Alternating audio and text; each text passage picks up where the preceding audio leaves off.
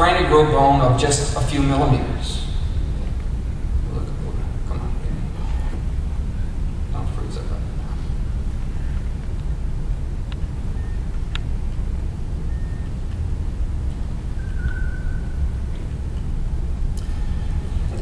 The bone that I'm going to talk about harvesting is from the ramus in the area with the trephine burr, here with the trephine burr.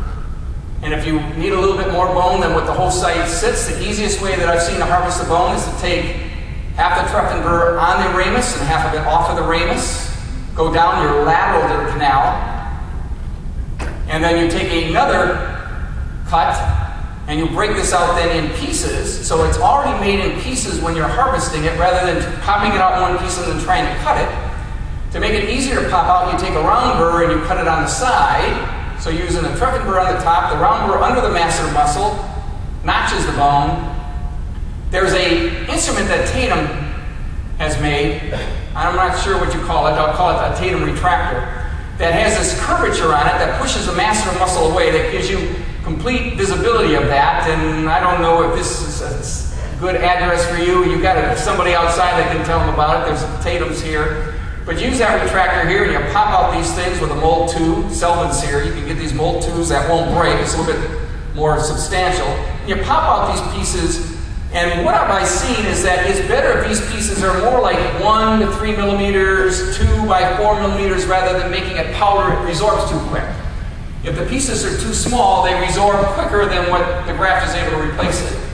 And so by using these trephine burrs again, I'll put them in a straight hand piece, although they look like they're designed for a contra angle, they can go in a straight hand piece. Now, if I was going to try to pop this core out, it's going to be more difficult because this piece of bone is here, this piece of bone is here. But if I'm taking a series of them, I can go over the top and they come out in pieces. And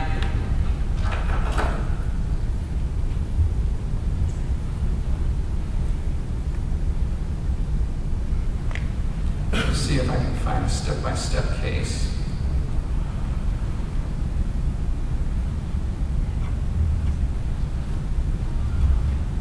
So here's a simple defect in two lateral sites.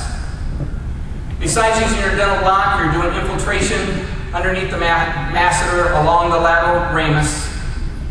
In this case, I'm keeping the papilla, vertical lines, incision on near the crest, exposing the defect, tunneling beyond the mucogingival junction, ideally, spread, spreading the tissue, advancing the flap, decorticating it, taking a drill that will, it's the same diameter drill as these screws I'm going to use, and I use these screws as tent screws so it stops the from being mobilized and also gives me a visualization of how much bone I'm going to grow.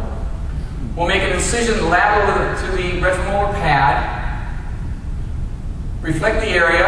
I'll take a hemostat. I always have it available here when I'm coming up the ascending ramus. There is a chance that there's a buccal artery that comes over here about the height of the occlusal plane, a little bit above it, and that's coming from the from the maxillary artery.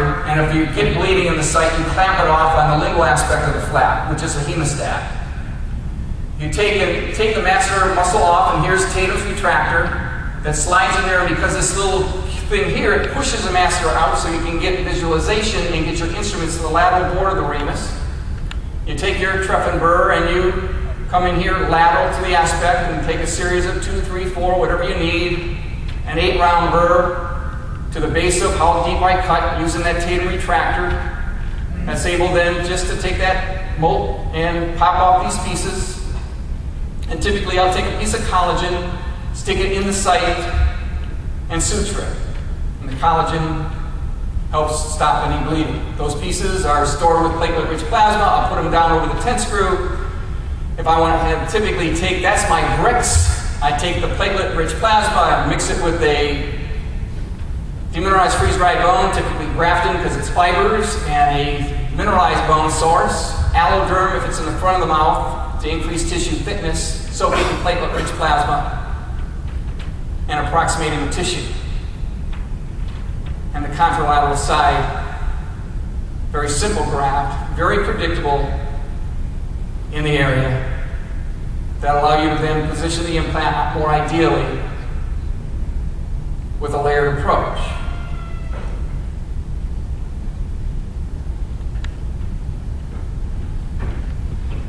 Let me show you some reentries.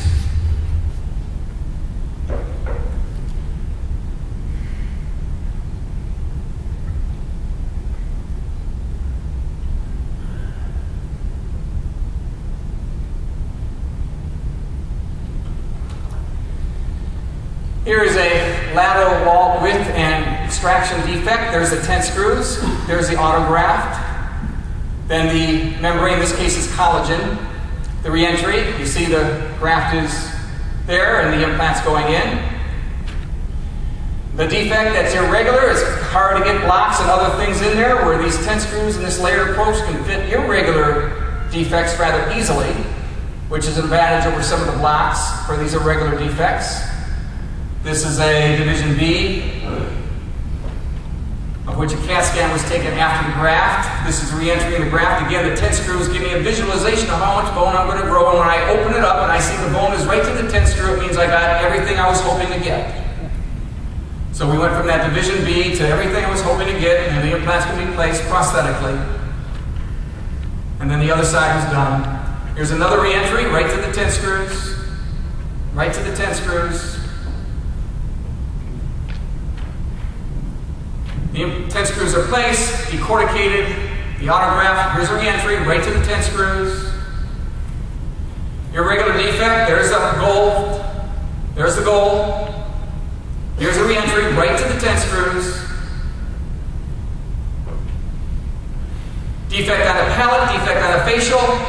Here's a reentry, right to the tent screws on the palate and the facial, allowing us to place the implants ideally. The tent screws, the autograft, the right to the tent screws. Defect in the mandible, there's the tent screws. There's the layered approach. Reentry right to the tent screws. Maxilla, defect, irregular defect, hard to a block to fit that. Tent screws place, layered approach. Reentry right to the tent screws. Here's the histology. There's the graft. There's the bone. This is at four months. There's a, there's a vital bone. There's a graft. Vital bone. There's a graft. Vital bone. There's the graft. Biopsy. Five. Vital bone to the graft. Vital bone at four months. Vital bone at four months. Vital bone at four months. Vital bone at four months. Biopsy six. Biopsy, the summary of the five contiguous biopsies showing the amount of bone grown at the area at four months. Very predictable procedure whenever you're trying to grow a few millimeters of bone. The key, then, within that, is that the keys to bone grafting are looked at. You look at the 10 keys, you look at what the host site is giving, you look at providing the other keys, and as a consequence, they're very predictable procedures when you're trying to grow bone in width or minimum height. You want more than that, this technique, you're just going to start to push it. You go, go to a different technique. The different techniques, a little more difficult, a little more learning curve, because it's a larger volume, you get more tension on the incision line. So if you're in your early learning curve, you've done less than 100 grafts, you start with division B ridges, you know how to span the tissue. When you don't have an incision line opening, then you can go to B minus W, then to C minus W, then to C minus H, and take this and eat this elephant one bite at a time. I'm delighted that you invited me to share this birthday with my mentor, Hilt Tatum. I'm hoping I didn't disappoint him too much in today's lecture. I look forward to uh, the party tonight and the rest of your meeting. And I guess we're going to have a 30 minute question and answer period with Dr. Schnitman and Dr. Tatum at this point. So thank you for your attendance up, up to this point.